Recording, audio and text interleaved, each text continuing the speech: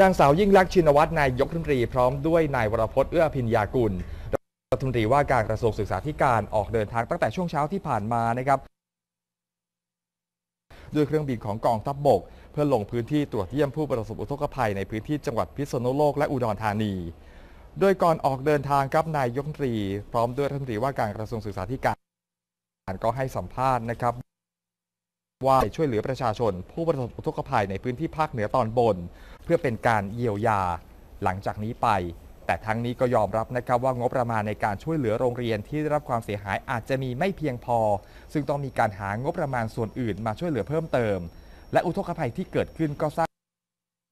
งความเสียหายมากที่สุดเท่าที่เคยมีมา อย่างไรก็ตามนะครับนายบรรทูลสุภคัมภ สุภัคควนิตเลขาธิการนายกรัฐมนตรีก็ได้มีการแจ้งให้ทราบ ถึงงบประมาณส่วนกลางที่ตอนนี้มีเหลือเพียงแค่ 100 ล้านบาทเท่านั้น ซึ่งถือว่าน้อยมากนะครับ จึงจำเป็นต้องมีการหางบฉุกเฉินมาสำรองเพิ่มก็คงต้องดูว่าจะสามารถจัดหางบประมาณงบกลางเพิ่มเติมได้หรือไม่นะครับ ตอนนี้อยู่ในระหว่างที่กำลังตรวจสอบความเสียหายอยู่นะครับเท่าที่ดูนี่จำเป็นต้องใช้เงินเท่าไหร่เริ่มต้นที่เราเอ่อ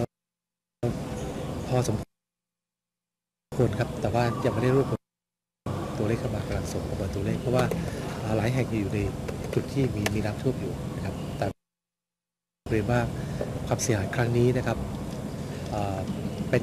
ดูไม่มีน้ำหลากรุนแรงนะครับ แต่ว่าท่วมเป็นวงกว้าง แล้วก็น้ำแช่ขังเป็นระยะเวลาอันยาวนานนะครับก็มีความเสียหายค่อนข้างจะมากรับ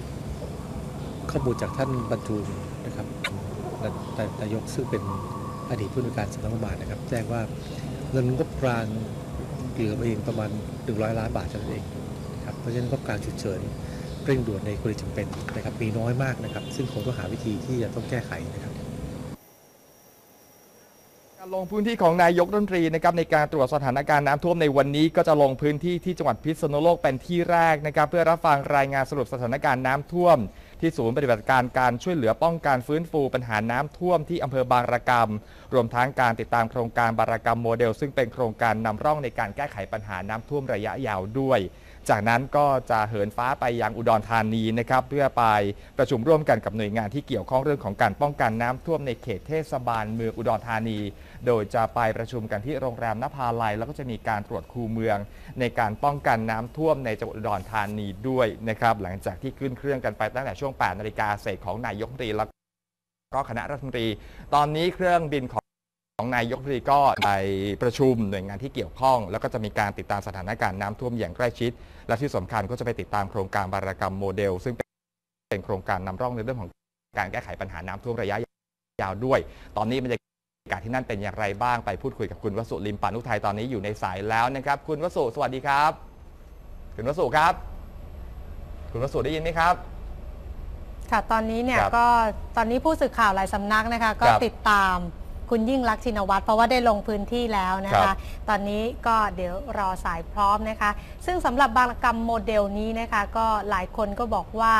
ปกติในพื้นที่จังหวัดพิษณุโลกเนี่ยถือเป็นครับพื้นที่ลุ่ม และน้ำเนี่ยจะต้องผ่าน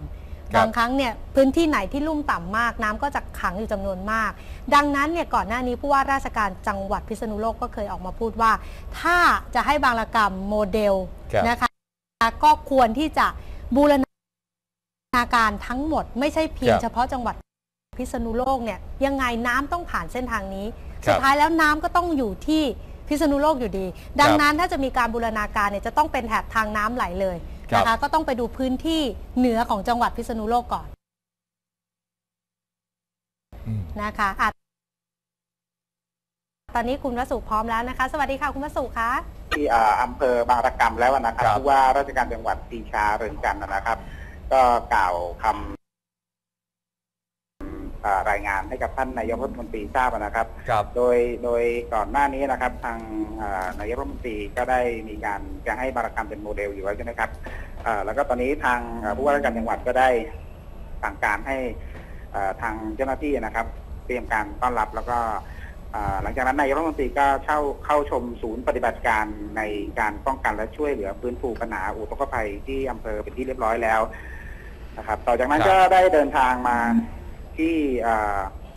เดินทางอ่าเดินทางมามาที่ที่วัดอะนะครับ ซึ่งเป็นวัดสุนทรประดิษฐ์นะครับ เป็นที่อ่า มานมัสการหลวงพ่อแขกปะพาโสนะครับ ซึ่งการเดินทางมาที่วัดก็มีประชาชนจำนวนมากนะครับ มาให้การต้อนรับพร้อมทั้งมอบดอกกุหลาบให้กับทางนายกรัฐมนตรีนะครับอพอมาถึงจุดที่วัดสุนทรประดิษฐ์เข้านมัสการหลวงพ่อแขกแล้วนะครับ ทางหลวงพ่อแขกเองก็ได้มอบอเป็นนกยุงนะครับ ซึ่งเป็นนกยุงลงยานะครับให้กับนายกรัฐมนตรีพร้อมทั้งแหวนทองคำ ซึ่งเป็นแหวนหลวงพ่อแขกอะนะครับมอบครับให้กับนายกรัฐมนตรี ซึ่งแหวนนี้ก่อนหน้านี้อ่านายกรัฐมนตรียิ่งรักษณ์ชินวัตรที่ลงพื้นที่หาเสียงที่จังหวัดพิษณุโลกหลวงพ่อแขกเคยจะมอบแหวนวงนี้ให้กับทางท่านอ่านายกรัฐมนตรีมาครั้งหนึ่งแล้วนะครับ แต่เนื่องจากว่าอ่าท่านนายกเกรงว่าจะผิดระเบียบของการเลือกตั้งอะนะครับ ก็เลยอาขอปฏิเสธไปนะครับ มาวันนี้เองนายกรัฐมนตรีเดินทางมาถึงที่วัดสุนทรประดิษฐ์ทางหลวงพ่อแขกก็เลยถือโอกาสนี้มอบแหวนให้กับนายกรัฐมนตรีไปอะครับค่ะครับ ครับ หลังจากที่ออกจากวัดแล้วจะไปไหนต่อครับตอนคนี้ รับตอนนี้นายกรัฐมนตรีเอ่อเดินทาง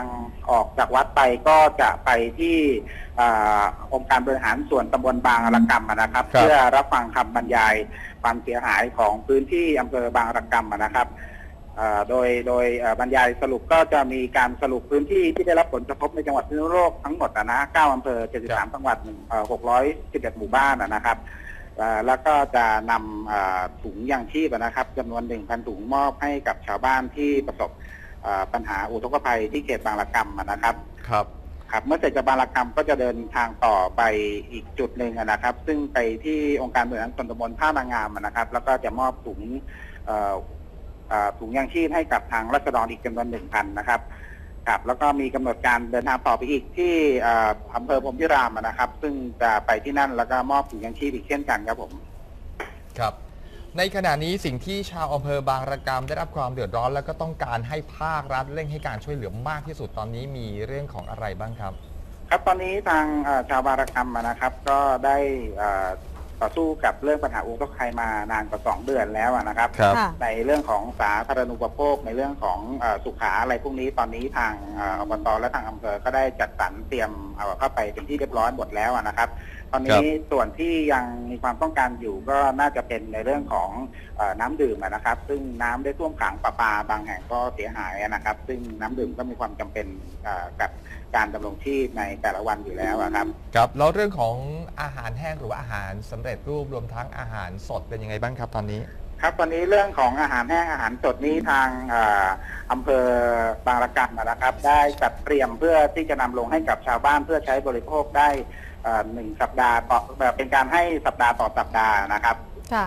ครับอืมตอนนี้ภาพรวมของสถานการณ์น้ำที่อำเภอบางละกำจังหวัดพิษณุโลกเป็นยังไงบ้างคะ ครับตอนตอนนี้ระดับน้ำที่บางระกำเองยังไม่ลดลงนะครับ เมื่อวานที่ผ่านมาได้มีฝนตกลงมาบ้างนะครับทำให้ค่ะ ระดับน้ำสูงขึ้นกว่าเดิมประมาณ1เซนติเมตรนะครับ ค่ะ ซึ่งชาวบ้านที่อาศัยอยู่ภายในบริเวณบ้านที่ไม่ย้ายออกมาบริเวณริมถนนนะครับ ก็ใช้วิธียกพื้นหนีน้ำให้สูงพ้นขึ้นไปอะนะครับครับซึ่งบางหลังก็เป็นบ้านที่เอ่อบ้านที่มีหลังคาไม่สูงมากนักอะนะครับ ตอนนี้ค่ะก็ยกขึ้นไปจนเกือบจะถึงเอ่อหลังคาแล้วครับเอ่อถ้าหากว่ามีปริมาณน้ำมากขึ้นกว่าเดิมอะนะครับคงจะต้องโยกย้ายออกมาอยู่บริเวณริมถนนเช่นเดเช่นเช่นกับคนที่อยู่ด้านนอกอะครับอืมครับ คุณวสุคะในฐานะที่เนี่ยคลุกคลีอยู่กับชาวบ้าน นานหลายอาทิตย์และหลายสัปดาห์ แล้วชาวบ้านเขาคาดหวังในการลงพื้นที่ของนายกรัฐมนตรี เพื่อดูแลแก้ปัญหา แล้วก็ทำเป็นบางระกรรมโมเดลเนี่ยมากน้อยแค่ไหนคะ ครับในส่วนของชาวบ้านอะนะครับ ค่ะ มีความคาดหวังกับนายกรัฐมนตรีในการเข้าแก้ไขปัญหาของบางระกรรมเนี่ยนะครับเนื่องจากครัว่าบ พื้นที่เขตบางระกรรมนี่เองเป็นพื้นที่เอ่อติดกับแม่น้ำยมอะนะครับ ซึ่งค่ะเอ่อพื้นที่ที่ติดกับแม่น้ำยมของบางระกรรมมีความยาวถึงประมาณ 60 กิโลเมตรอะนะครับอืมค่ะดังนั้นเอ่อการเข้าท่วมขังของเออพื้นที่บางระกรรมเนี่ยจะเป็นการท่วมทุกปีอะนะครับ โดยค่ะทีนี้จะเป็นการท่วมเอ่อเร็วกว่าปกติอะนะครับ เพราะว่าครับอ่าทุกปีที่ผ่านมาน้ำจะเข้าท่วมในช่วงเดือนกันยายนนะนะครับอ่าแต่ตอนนี้น้ำอ่าได้เข้ามาท่วมก่อนหน้านะครับมาซึ่งแล้วชาวบางค่ะระกรรมเองก็หวังว่าอ่า ในปีถัดไปหากว่าโครงการบางระกรรมโมเดลนี้ประสบผลสำเร็จอะนะครับค่ะน้ำก็อาจจะเข้าท่วมน้อยลง หรืออาจจะเข้าท่วมตามฤดูกาลอะนะครับค่ะอ่าส่วนที่อ่าทางนายกรัฐมนตรีเดินทางเข้าพื้นที่บางระกรรมวันนี้อะนะครับค่ะส่วนใหญ่แล้วชาวบ้านเอ่อเห็นว่าเป็นเรื่องของกำลังใจที่อืมเอ่อทางผู้นำของประเทศได้เข้ามาเยี่ยมเยียนผู้ประสบภัยอะนะครับทำให้เอ่อมีกำลังใจในการที่จะใช้ชีวิตอยู่ต่อไปอะครับโอ้ ครับค่ะประชาชนเชื่อมั่นในเรื่องของโครงการบารกรรมโมเดลของรัฐบาลมากน้อยแค่ไหนครับ อ่าขออีกทีครับคุณพี่ทำตรงครับประชาชนเชื่อมั่นในโครงการบารกรรมโมเดลของรัฐบาลที่จะดำเนินการหรือว่าเริ่มดำเนินการอยู่ในขณะนี้มากน้อยแค่ไหน ครับชาวบ้านบอกว่าอ่าทุกปีที่ผ่านมานะครับ ครับการช่วยเหลือก็มีมาอยู่อะนะครับ แต่ค่ะไม่ได้รวดเร็วเหมือนกับปีนี้อะนะครับ อืมซึ่งค่ะ อ่าตามโครงการบารกรรมที่นายกรัฐมนตรีตั้งไว้อะนะครับ ครับ ก็จะเป็นการตัดสินใจด้วยความรวดเร็วอะนะครับ ซึ่งอ่า ให้ความช่วยเหลือโดยมีการตั้งวอลลุ่มนะครับ ในการตัดสินใจ